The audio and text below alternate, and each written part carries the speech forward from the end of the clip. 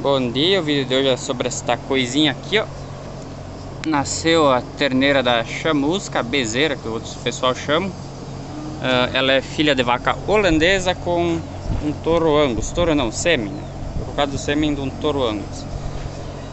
Ela é bem bonitinha, nasceu com cerca de 45 quilos, pelo que eu medi na trena uh, em comparação a por ser uma raça de corte, os terneiros acabam que dão bom, eles acabam puxando, geralmente eles puxam pro macho esses angus, então eles acabam sendo bom para corte.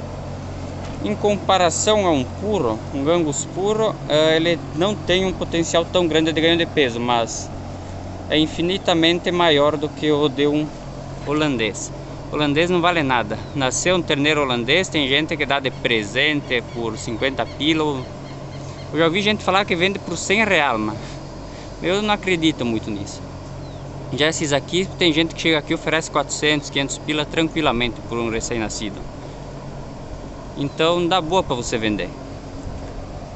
E além de ser um sêmen barato em relação ao holandês, acabam sendo sêmen mais barato para você colocar em vaca velha que demora para dar a cria geralmente então eles acabam sendo colocados angus. Uh, tanto que eu coloquei uma das minhas vacas angus, porque ela não estava segurando. Então já que eu tinha umas doses de angus, acabei colocando porque gastar 50 reais não sei, meu gastar 20 pila, eu preferi gastar 20 porque ela já tinha repetido duas, três vezes.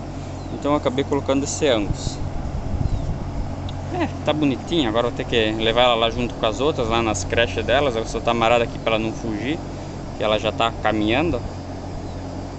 Agora vou ter que ir lá pegar o trator e levar lá no lugar. Uh, o pessoal coloca esses aqui, ó. Eles desmamam eles daí com normal igual os outros, com uns 90 dias, depois coloca um pouco no coxo. E daí quando eles batem uns 150 quilos mais ou menos, o pessoal gosta de largar aqui onde eu moro, aqui no Rio Grande do Sul. Uh, depois de tirar a soja, ou tem pessoal que planta azevém, planta não, ela vem guacha. Guacha que seria ela nasce sozinha. Então o pessoal larga na lavoura essas quando a cerveja está um pouco grande, ele larga o gado para botar no inverno, para tirar um, uma renda extra. Uh, tem vizinho que relata, tem uns amigos meus, uh, eles falam que se tu colocar um terneiro com 150 kg, você vai tirar ele com 300. Em, praticamente eles ganham mais de um quilo por dia na Zevém. Só na Zevém, um pouco de mineral e deu.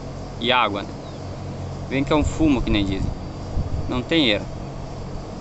É uma raça boa, dá em relação a preço de venda depois de grande, se for engordar ele até uns 450 kg para vender para o abatedor, 450 kg vivo, né, que deve dar uns 200 e poucos de carne. Uh, eles têm um preço mais agregado em relação ao holandês. O holandês os caras não querem muito porque dizem que dá o sudo. Embora que se você criar um holandês no coxo não vai acontecer isso, mas no pasto ele não é tão bom, não é, né, é bem ruim em comparação a esses aqui. Uh, eu acho que era mais isso o vídeo de hoje. Uh, isso aqui é uma terneira que nasceu, uma das poucas, acho que vai nascer angus. Deve ter mais uma ou duas só inseminada no lote de com angus. Porque a maioria eu tô colocando holandês e sexado, né? Sexado, tudo, tudo holandês praticamente. Só tem dois, três que vão nascer de angus, as vacas. Justamente as que demoraram para pagar a cria. Ele é bonitinho. É, acho que era isso o vídeo de hoje. É... Ah, e outra coisa que a pessoa vai pedir, ele dá terneiro grande? Não dá. Em relação aos das raças ebuína, ele dá menor. Ele dá com tamanho semelhante ao holandês ou até um pouco menor do que um holandês. É, é um pouquinho menor até.